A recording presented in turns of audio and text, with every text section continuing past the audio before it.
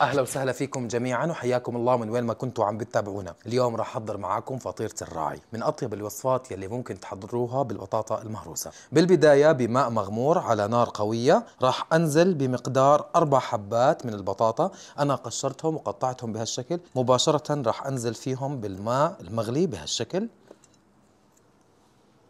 بالبداية راح أتركهم على نار قوية حتى تغلى معي حبات البطاطا. مجرد ما غليت معي البطاطا على نار قوية هديت النار على أقل درجة حرارة وراح أغطيها وأتركها تستوي معي لمدة 20 دقيقة. خلينا نشوف استواء البطاطا مع بعضنا. تست على قطعة بطاطا بطاطا استوت عندي تماما وهيك صارت مباشرة جاهزة لأني أهرسها. بدي أرفعها عن النار وأصفيها كثير منيح من المي.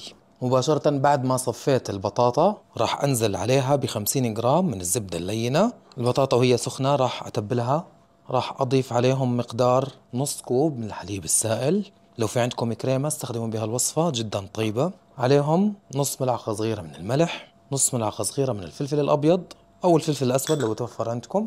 بالإضافة لنص ملعقة صغيرة من الأوريجانو. راح أهرس البطاطا عندي الشكل.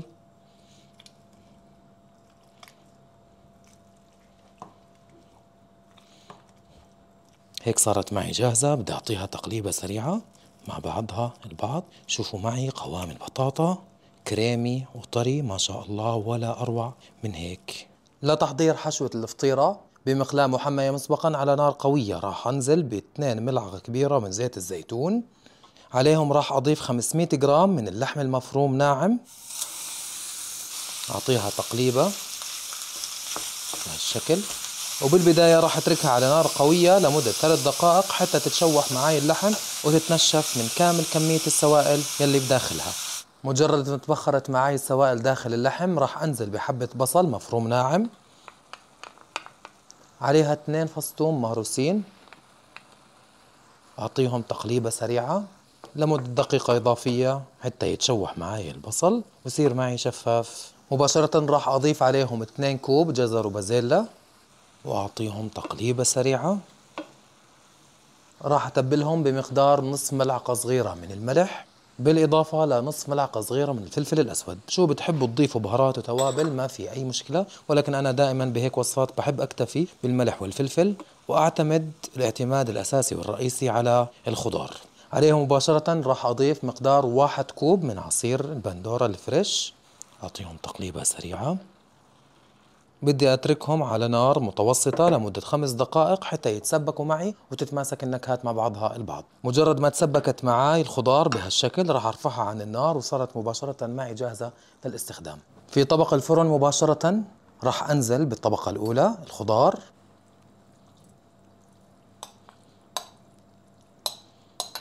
بدي أفرد الخضار بالبداية طبقة أولى بهالشكل وأحاول أرصها. مباشرة راح أضيف طبقة من البطاطا. أنا للتشكيل والتسهيل فقط مشان أعطيها شكل. فرغتها بكيس حلواني وقمع الكريمة المعتاد للتزيين. بهالشكل راح أضيف البطاطا. أنتم ممكن تضيفوها طبقة كالمعتاد. تفردوها بواسطة ملعقة مطبخية. ولكن بالقمع أنا راح أخذ فورمة وشكل جدا لطيف. وبهيك طبقي صار جاهز بعد ما رصيت طبقة البطاطا على طبقة الخضار. وحبيت برضه أقدمهم وأشكلهم بهالشكل بشكل أطباق فردية. شوفوا ما أجملهم وأروع الشكل ولا أحلى من هيك بأطباق فخارية. لكم الحرية المطلقة بطريقة التشكيل والتقديم بهالوصفة. وهيك طبقي صار جاهز معي ليدخل للفرن. راح أدخلهم لفرن محمى مسبقا رف أوسط درجة حرارة 200 لمدة 10 دقائق وبعد هيك راح أحمرهم من الأعلى لمدة 10 دقائق من الشواي فقط. شوفوا معي ما شاء الله بعد ما طلعت من الفرن وتحمرت. بإمكانكم تضيفوا جبنة الموتزاريلا على الوجه وتحمروها لو بتحبوا ولكن أنا هيك بحب أكتفي بالوصفة. خلينا نقطعها مع بعضنا حتى نقدمها. خليتها تبرد معي أنا بدرجة حرارة المطبخ. خلينا نجرب طبخنا مع بعضنا. نسمي بسم الله. شوفوا معاي هالطبق ولا أطيب من هيك بتمنى أنه يعجبكم وبألف عافية.